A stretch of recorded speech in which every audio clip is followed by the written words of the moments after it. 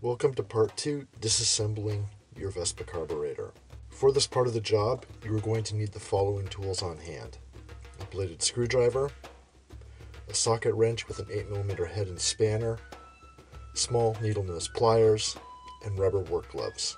Now that we have the carburetor body out of your Vespa, it's time to pull it apart. For this part of the job, you can either use a bladed screwdriver or an 8mm socket wrench.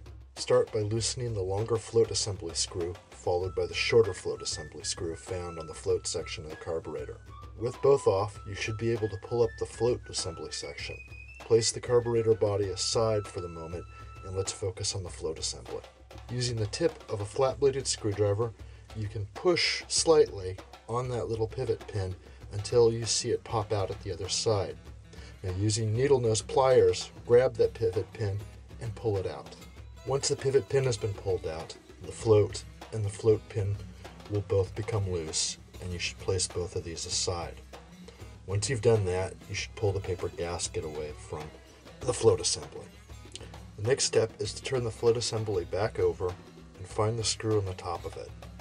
For this, you'll want to use a bladed screwdriver to loosen this particular screw and remove the open cover. Inside, you'll see a small plastic fuel filter and a fiber gasket within the lid. Use the same bladed screwdriver to remove both. Now it's time to remove all the jets. The first jet we're going to locate and pull is the starter jet, which is located next to the carburetor bowl and the choke lever.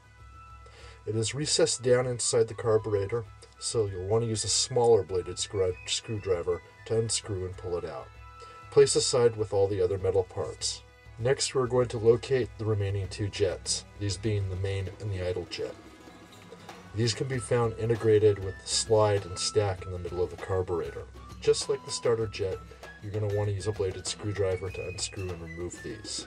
Now that we've pulled all three of the jets, let's take a look at the big main jet. This jet, we're going to need to pull it apart by hand. The main jet stack breaks into three pieces, which are the main jet bottom, atomizer, which is the middle, and the top cor corrector, which is on top. Place these back with the other jets and bits and pieces eh, for cleaning later on. Next step, we're going to remove the air adjustment screw, which is located at the bottom rear of the carburetor.